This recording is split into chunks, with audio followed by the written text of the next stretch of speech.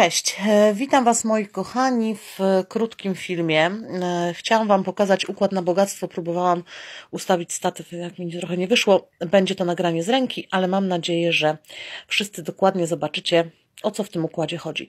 Tutaj macie rozpisany układ na bogactwo. On będzie tak notabene do Ostary od początku marca robiony na moim kanale.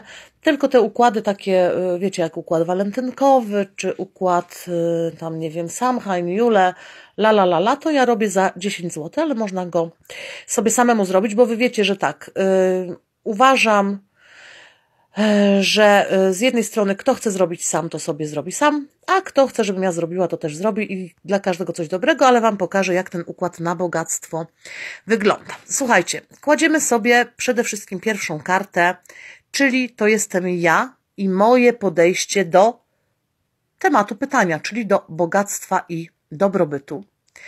Potem kładziemy kartę jak w krzyżu celtyckim na przekór, czyli są to przeszkody fizyczne. Potem kładziemy kartę, która mówi nam o blokadach energetycznych, czyli mamy siebie i z dwóch stron pokazane i fizyczne, i energetyczne przeszkody, które mogą nam stać na drodze do naszego dobrobytu i do naszego bogactwa. E, oczywiście dobry układ powinien zawierać kartę rady, więc e, tutaj zawsze odczytujemy sobie radę. Tutaj oprócz przeszkód również widać czynniki pomocne, czyli te rzeczy, które mogą sprzyjać nam.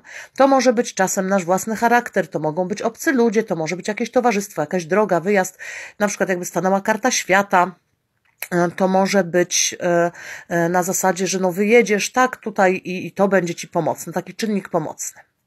Potem e, obiektywnie karty pokazują otoczenie i ludzie, którzy nas otaczają w naszej drodze do bogactwa bądź jego braku, bo to różnie. Czy będą jakieś umowy, czy nie będzie tych umów.